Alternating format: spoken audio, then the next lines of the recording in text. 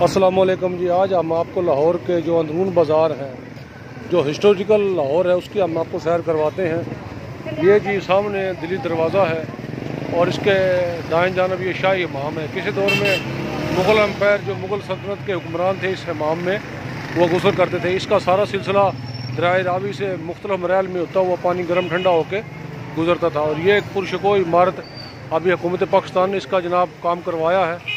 اور اس کو اصلی رنگ میں ڈالا ہوا ہے۔ یہ جی شاہی امام ہے مغل دور کا۔ اور اس کی عمارت آج تک شان و شوق سے کھڑی ہے۔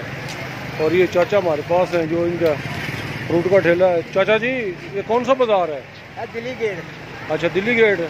اے رستہ کدھر جا رہے ہیں آپ کے؟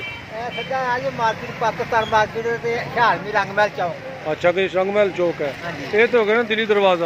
جڑا یہ ہے تو اے کیڑا دروازہ ہے آگے دروازہ بھی ہے یہ اچھا یہ جی پرانی بلڈنگ ہے جو عموماً لاہور ورلڈ سٹی بھی اپنے اس میں دکھاتی ہے پروگراموں میں اور یہ جناب ایک تاریخی بازار ہے جو آگے رنگ محل مسجد وزیر۔